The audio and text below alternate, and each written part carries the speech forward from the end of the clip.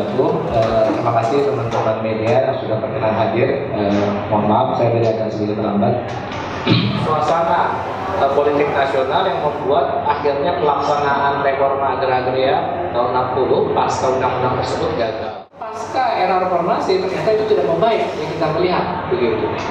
Ini upaya untuk memberikan hak rakyat yang paling dasar yaitu hak atas tanah sampai sekarang kita tidak melihat hal itu